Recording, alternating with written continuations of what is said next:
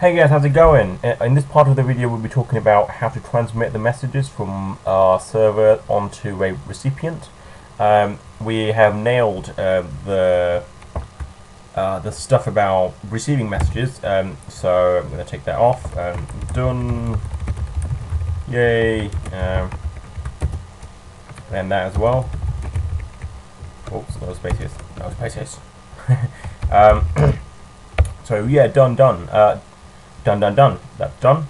Um, now we need to do the send a message thing, uh, and I, as, and as I described earlier, we're going to have a atomic uh, transaction way of sending a message. So rather than having an open channel at all times, um, just um, connect, send message, dis- disconnect. You know, so quite um, fast and sneaky, you know.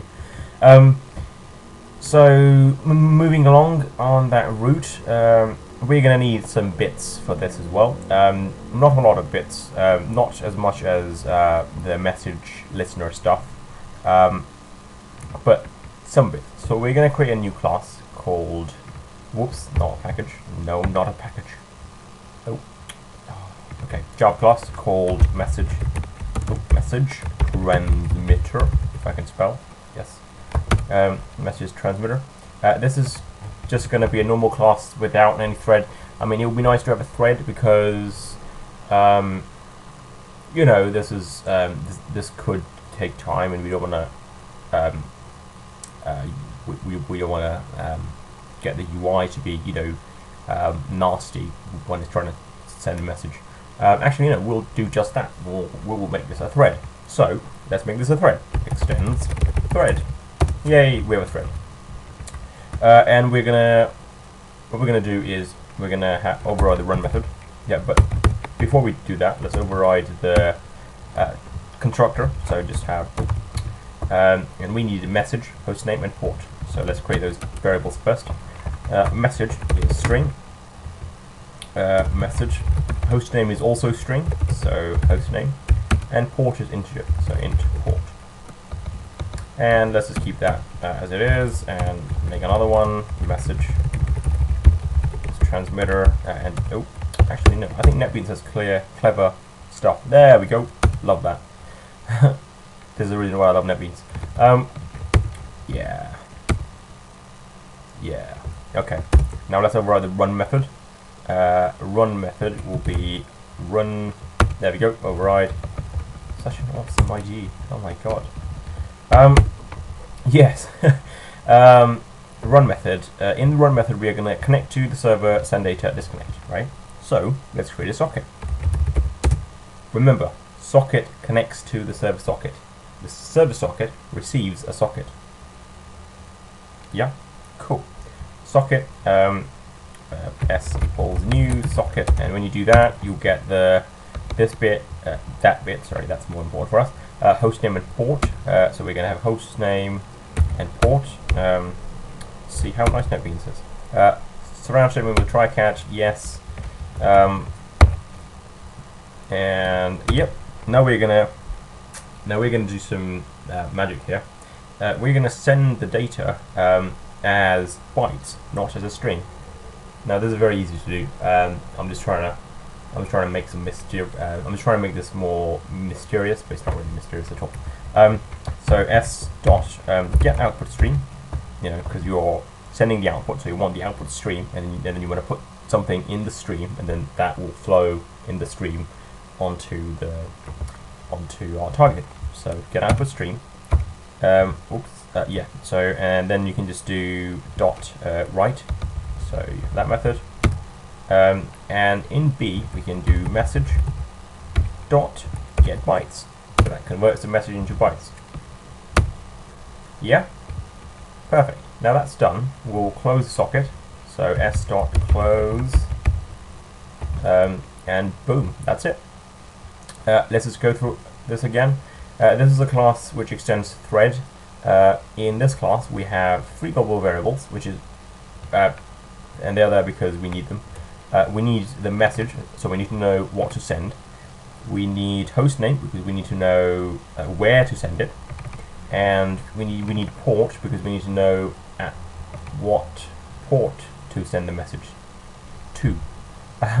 And then we have two uh, public constructors. Uh, one's an empty one. This is because I'm really paranoid. And the other one is just a normal one where we accept uh, these three arguments, um, um, make them store inside this inside this object, and then we do the run thing. Yeah, cool. So now that's saved. Um, uh, what we'll do now is we'll go back to the main screen stuff, uh, and now we need to integrate our back end uh, to our front end. Uh, now this is our front end, you know, all of the beautiful stuff. Um, and we need to integrate this.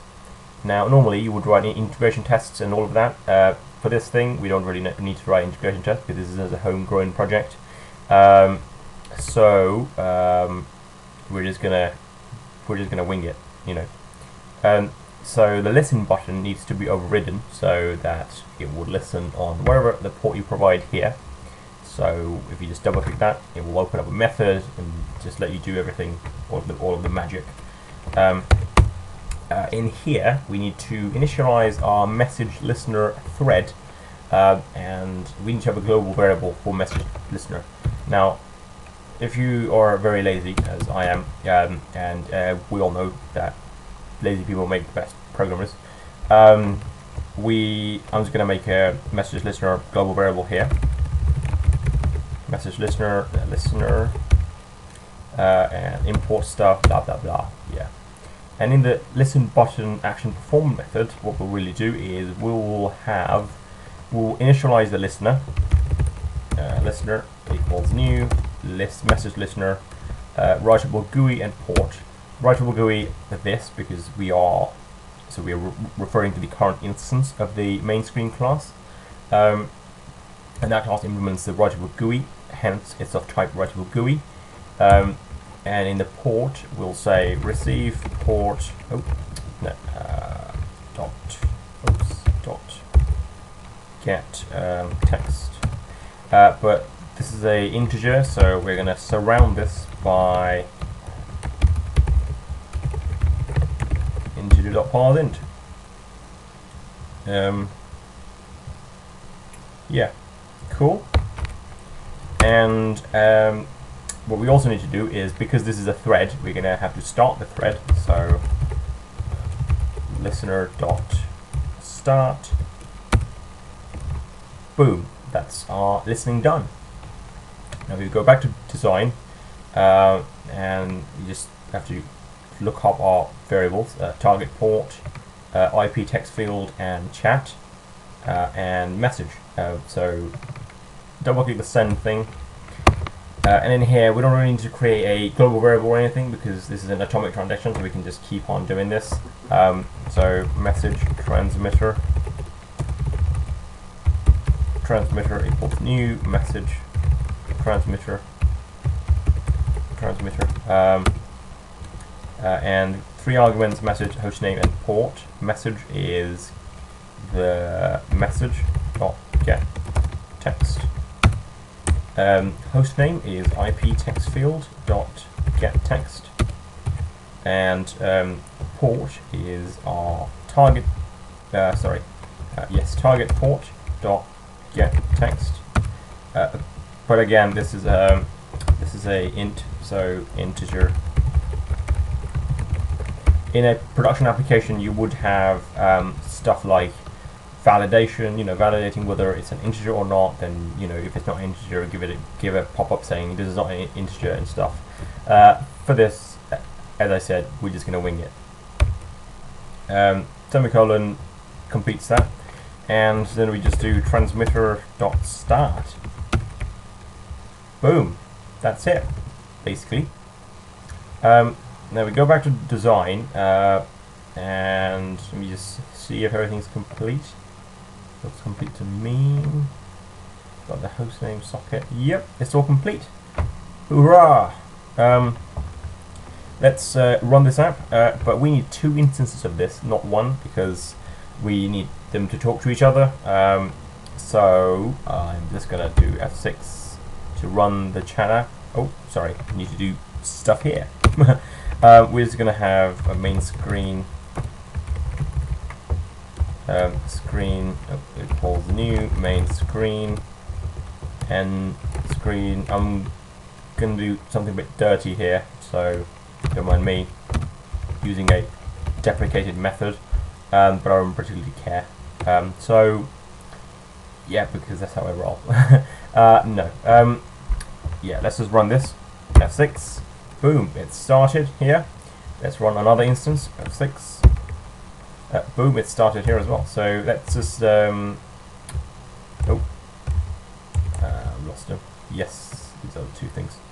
Beautiful. Uh, what we'll do here is we'll have them.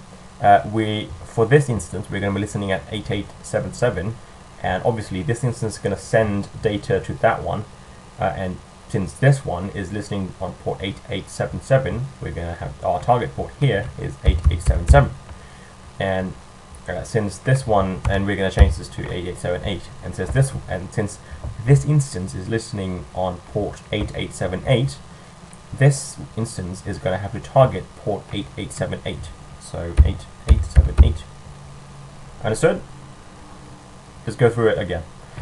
This instance of the chat application is listening on port 8877, which is why if this one needs to send a message to this one, it's going to have to send on port 8877. Now, if this one is listening on port 8878, then this one has to target on port 8878, which is why target of here, of this one, is 8878. Um, they both can't be listening on the same port, but they both can send on one port. Uh, but that's not the case here. That's just for information only. Um, host name is localhost. Uh, although if um, your friend has a static IP or something, uh, then you can put their IP address there. If they don't have a static IP, they can still put their IP address there. There's a different way for that. It's called port forwarding. So if your friend has a router, um, um, then he's going to have to forward ports from the router to his computer and then do stuff. Uh, we'll talk about that towards the end of the video. Uh, so put the local host here as well because these are both on the same machine but on different ports. Um, now if you're thinking that this is not a real test, this is not a real test, not in a field uh, where you, you are on the internet and you have crap loads of devices talking to each other, but this is a real enough test because uh, these are both listening on different ports, these are doing um, stuff differently, um, so they're great enough. I mean, uh, if it works here, then it should work in real world as well. So now we're going to do the exciting thing of sending a message. Our first message is going to be, hello, uh, send. Oh, sorry, I forgot about this completely. We're going to have to make these things listen on uh, their ports. So just click listen, listen, and now if you send, hey, hey, hello, we got a hello. And now if we do something here, say, um, howdy, oh, howdy, how's it going? And we send here, boom, that's there. Now we can get these to talk to each other. Not bad, mate. How are you? Send. And this one can be like, uh, cool. Yeah, man. Not bad at all. Send. And woohoo! It's, it's all working. Cool. So that's the end of our, you know, chat application stuff. Um, um, yeah.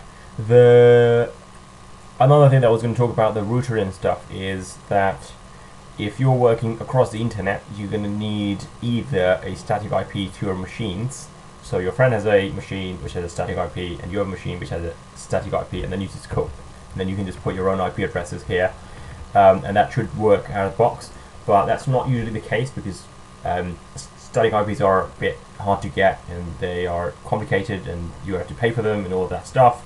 Uh, so what you can do is you can have a router, so you just have your normal internet, you have your router, and you would log into the router, and you would port forward um, this port on your router and your friend will also do the same thing. And then you would share your IP addresses, not the IP addresses of your machines, the IP addresses of your routers. Um, there are ways to find that. You can just go onto um, um, thingy. So if you just kind of uh, new Windows worked. Did it work? Yes, it worked. Um, if you just go to my IP, uh, what's my IP? You know, that should bring up in Google. That's my IP. Like you know. Um, so yeah, guys, um, awesome. Thank you very much for your feedback and everything. Uh, I'm really grateful for your motivation and support for this. Um, I will see you guys next time um, on another project maybe or another tutorial. Till then, bye bye, take care, see ya.